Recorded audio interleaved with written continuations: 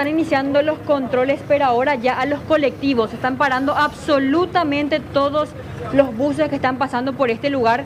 Se sube el oficial de policía, indica a todas las personas que tienen que preparar sus certificados de trabajo y ustedes podrán observar ya en pantalla también que la mayoría de estas personas tiene el tapabocas.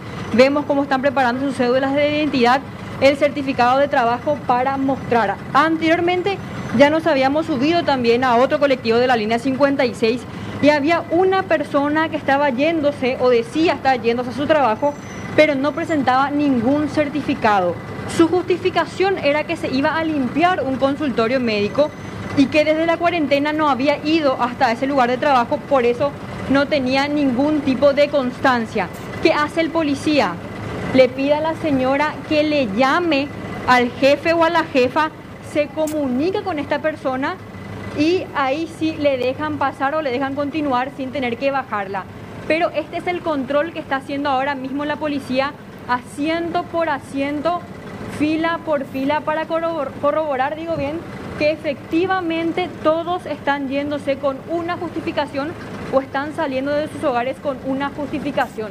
Muchísimas personas, hasta el momento no hay ninguna persona parada por lo menos, así que eso sí se está respetando por parte de las diferentes empresas de colectivos.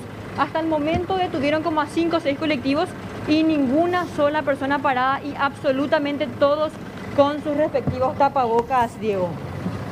Bueno, Fiona, ahí estamos viendo entonces si también hay que decir esto, al menos en esta unidad se cumple eh, la cuestión de los pasajeros sentados con sus permisos laborales, con el tapaboca.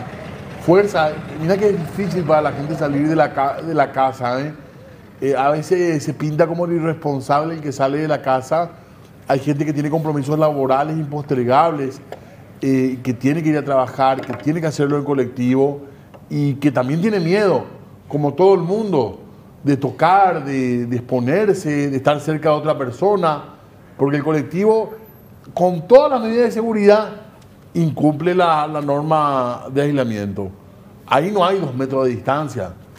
O sea, el colectivo puede tener tapaboca, puede tener guantes, puede ponerte alcohol, pero siempre vas a estar a una distancia no prudencial porque te sentás al lado de otro pasajero.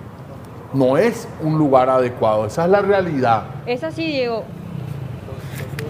Es doloroso, pero es verdad, o sea. Es así mismo, y de hecho, de hecho, Diego, que en un colectivo que no es diferencial, mínimo hay 45 personas sentadas, muy cerca una persona de la otra, mínimo 45 personas. Y todos los colectivos van llenos eh, en cuanto a los asientos. No hay personas paradas, pero sí todos los asientos están ocupados. Y así como vos mencionabas, hay gente que prefiere quedarse en su casa, pero como está trabajando en supermercados, en farmacias, tiene que salir necesariamente también para brindar este servicio que es sumamente fundamental para las personas en una época como esta. Las personas tienen que salir a comprar medicamentos, a comprar comida y tiene que haber gente que está ahí atendiendo y brindando este servicio muy pero muy fundamental en esta época. Continúan los controles aquí en la zona de Mariscal López y siguen parando todos los colectivos que van llegando.